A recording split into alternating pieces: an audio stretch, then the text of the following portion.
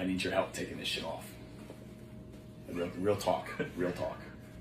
Jesus Christ. How am I even gonna? I don't even know how this. This. I'm How not- long will it take, man? How long many, will it take? How That's many the fucking question. licks does it take? Hardest part is getting over this fucking tricep right here. Uh, let's do it. I'm gonna try to be limp. Okay. All right, let's see. Dude, it's coming off. Just roll. Yeah. I'm, I'm Let me get literally my as fucking- limp as possible. Pause. Oh, there we go.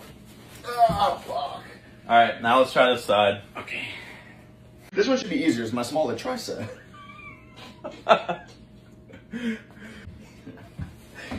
you alright? How he's put your arm up on my chest.